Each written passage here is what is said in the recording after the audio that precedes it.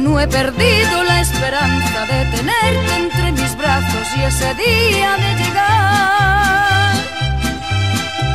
Desde hace mucho que me gustas y lo que me gusta obtengo con toda seguridad.